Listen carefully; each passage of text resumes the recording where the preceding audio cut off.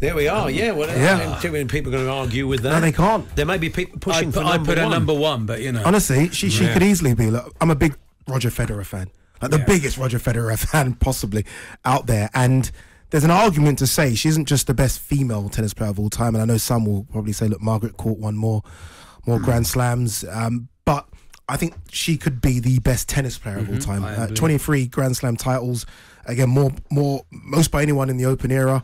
Uh, 14 double Grand Slam titles, two mixed double Grand Slam titles, four Olympic gold medalists as well. And I think the good thing about her, I just mentioned Roger Federer. And look, for me, in terms of just watching someone, he, he's fantastic. But the only criticism about Roger Federer is that he didn't do much on clay because of a certain, obviously, Rafael Nadal. I know he won one Grand Slam. Her Grand Slams are spread over all surfaces. Um, they, they even called it what, the Serena Surface Slam because she literally just dominates on everything she plays on. I think what she did, especially when you think of tennis in the 80s, it was very much serve and volley and it was very pretty and it was quite slow, I think some people would say. Mm. Then you had the era in the 90s with, with Steffi Graf and Monica Seles. She ramped up another mm. another 100 miles per hour in terms of her speed and strength and power.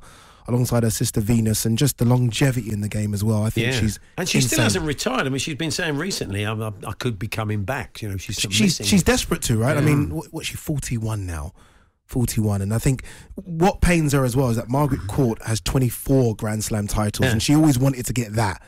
Whether or not she's got enough in the tank to get one more is a, is a question I don't know. I guess we can only answer it if she maybe competes again, but she's insane. I She think really is. utter domination of of her sport, Mm. she's unbeatable. And She'd, Yeah. be, and she, she'd beat anybody in history. Yes. There's nobody better than her in history. And I think she's the only person on your list, Ade, to have won one of her t- uh, titles whilst pregnant.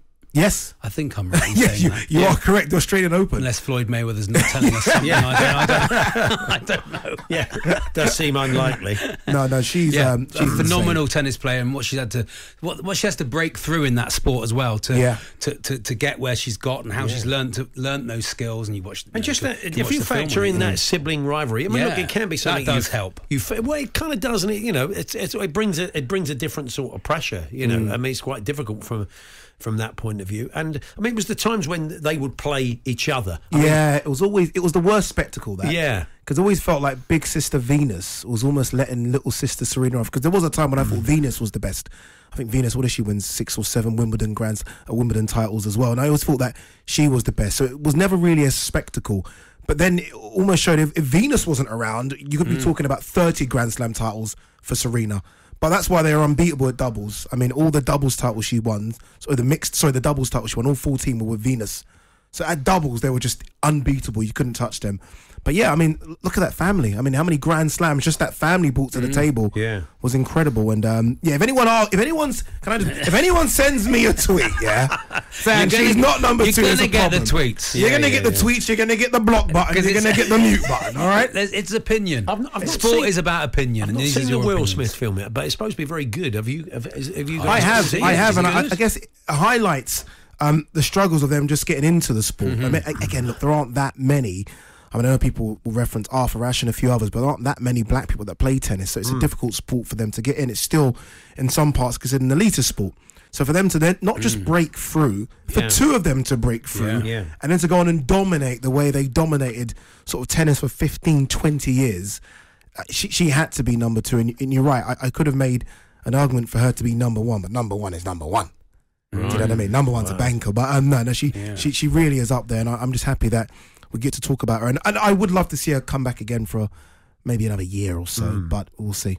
That sort of sibling rivalry, I mean, I'm sure you have as well, but we've spoken at different times over the years to, to both the Klitschko brothers, and Mm. they both say exactly the same thing. Would you ever fight each other? And then they say, Would you break your mother's heart? Oh, yeah, That's the one they always come Yeah. back with. But it's different. Look, a fight can be made or it can't be made. But when you're in a knockout tournament and your sisters, What can you do? You, have to play each other. But this is the thing you? with tennis; they play so much Mm. all the time. They're- Yeah. If you're a professional tennis player, you are basically playing week in, week out for Yeah. Mm. of 49 week, weeks a year, and so they play so much to have that domination over such a long time, so regularly, Yeah. is is, in, is incredible. She was sort of uh, world record number one for a combined 391, sorry, 319 weeks. And she was consecutively world number one for 186 weeks. No one could touch her. No one could touch her. Uh, she again, and the thing is as well, it's not like there weren't great players around. It's not like she's got, not competing with great players. You think of the likes of. I don't know, Martina Hingis towards sort of the start of Serena's career and Sharapova there as well. The people that won other Grand Slams. Whereas, like, I guess with Federer and Nadal and Djokovic, that was really it. Yeah. But for them, Grand Slams are spread over about 15 ladies, and she still dominated them. Mm. She still did. I wonder what odds you'll get. Her daughter's five, isn't she?